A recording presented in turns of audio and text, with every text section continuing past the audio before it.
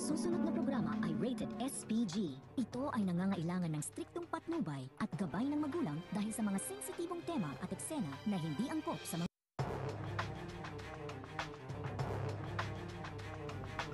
Ngayong hapon sa abot kamay na pangarap, matatagpuan at maliligtas ni Dr. Kim si Annalyn mula kay Carlos.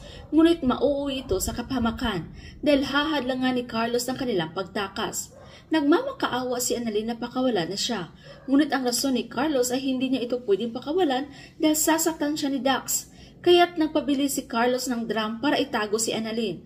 Nang kunin na ni Carlos ang drum, agad sanang ililigtas ni Dr. Kim si Annalyn.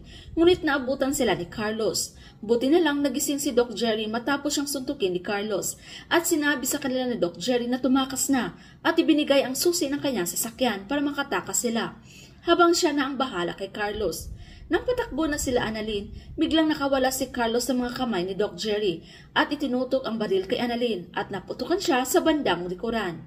Mukhang mapapahamak si Annalyn, ngunit alam naman natin na hindi ito ikakamatay niya. Siguro aabot lang sa panganib ang buhay niya.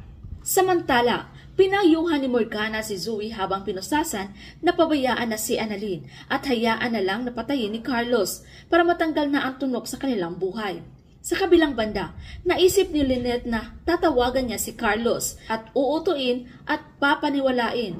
Ngunit tutol naman si RJ sa plano ni Lynette. Hindi siya papayag na dalawa sila ni Annalyn ang makuha ni Carlos.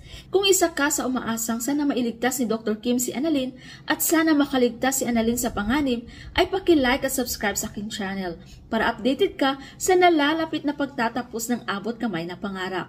Maari mo rin ibahagi ang iyong mga salubin sa comment section sa ibaba. Maraming salamat. Paalam!